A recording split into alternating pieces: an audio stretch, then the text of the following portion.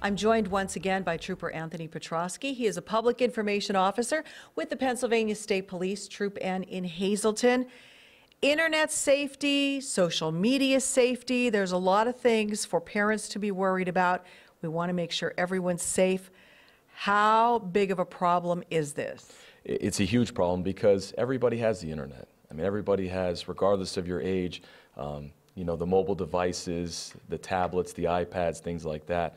Um, and you're instantly connected to an entirely different world where you can have a huge amount of people um, at, your ever, at your ever calling. Um, it's very easy to get information out there quickly to a large amount of people.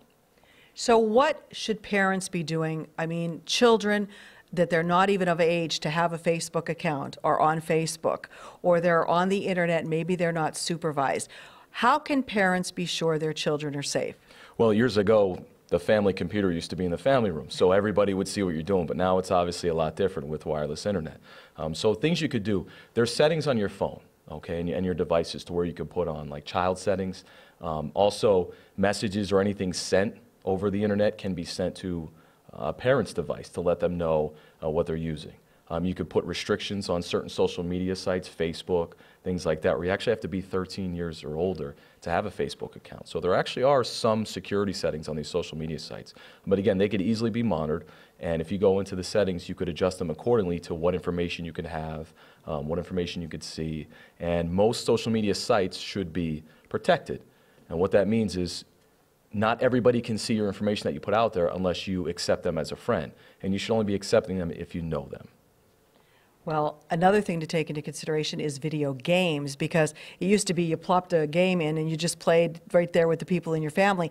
Now you can play with somebody in another country. So, you know, how scary is this? It, you know, it, it is it is a little scary if it's used in a negative way. You know, now you could actually talk to people while you're playing these games.